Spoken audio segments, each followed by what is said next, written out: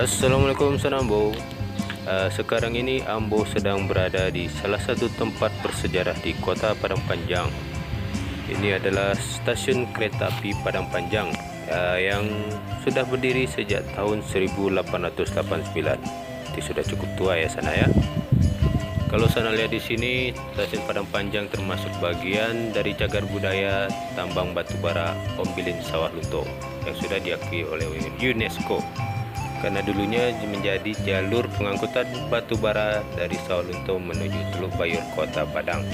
Di selain itu, stasiun Padang Panjang ini juga menjadi stasiun percabangan dari Padang menuju Sawalunto atau menuju Payakumbuh, jadi menuju ke berbagai daerah di Sumatera Barat.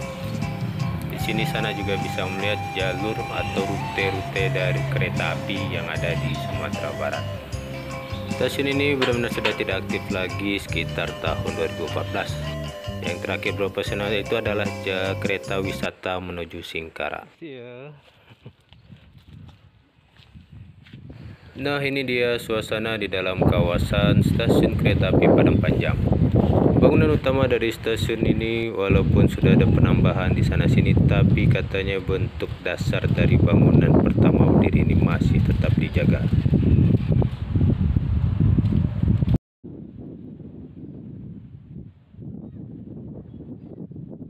Nah ini dia gerbong yang dulunya digunakan untuk mengangkut batu bara dari sawah Lunto. Jadi katanya sudah sejak sekitar tahun 2003 sudah digunakan lagi karena ya batu baranya lah habis.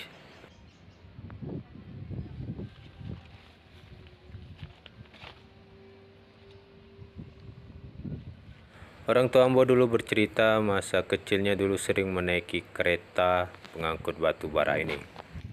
Ambo juga mau cobalah rasanya naik gerbong pengangkut batu bara ini.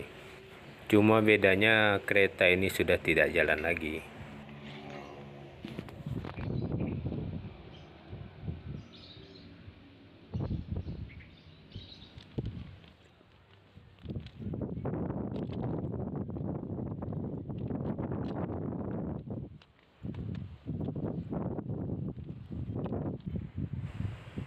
Ini Depo Lokomotif adalah bangunan paling besar yang ada di kawasan stasiun Padang Panjang ini.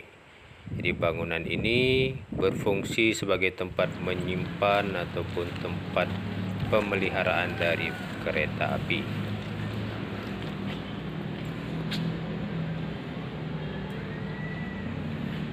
Kalau sana lihat di dalam sini kita bisa menemukan ada roda kereta api mungkin masih bisa dipakai kali ya tapi entah tidak tahu juga lah ya. Jadi kita lihat ke dalam. Dari jauh ini ada gerbong kereta penumpang. Tapi sudah kosong isinya. Tidak ada bangkunya lagi. Paling belakang kita lihat rupanya ada gerbong barang. Oh ini gerbongnya seperti ini sana ya. Jadi full tertutup semua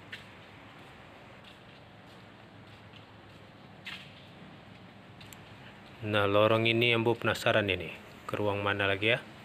Kita coba masuk sana ya. Kita lihat bagaimana di dalam ruangan ini. Bagian luar ternyata tidak terlalu lebat semuanya. Sepertinya masih ada dibersihkan sekali ya kita lanjut ke dalam. Bu penasaran apa mungkin dalam ruang teknisi atau ruang ya tidak tahu. Kita coba masuk terus ya. Hmm, memang tidak ada penerangan dan Oh, rupanya di sini gelap. Kita tidak bisa masuk ke dalam.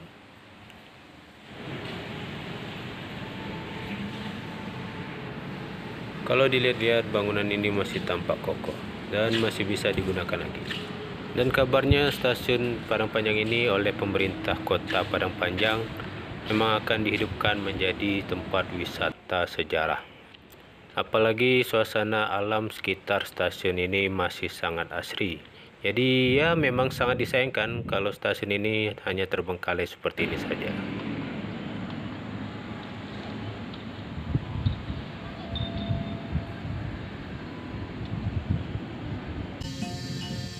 Di samping di lokomotif ini kita melihat ada bangunan rumah sinyal dan ini juga jalur dari atau menuju ke kayu tanam.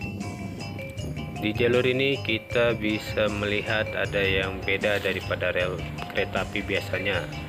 yaitu ada rel bergigi rel ini biasanya terdapat pada jalur kereta api di daerah perbukitan atau pegunungan jadi dengan rel gigi ini membantu kereta untuk melewati jalur pendakian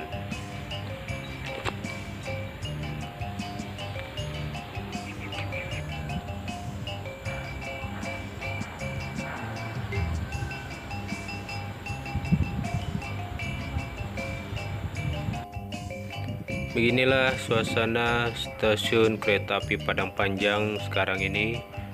Walaupun sudah tidak aktif lagi, namun masih sering dikunjungi orang untuk sekedar tahu ataupun berfoto-foto saja. Baiklah demikian video dari Ambo dan terima kasih sana untuk yang sudah menonton dan sampai jumpa lagi di video berikutnya. Wassalam.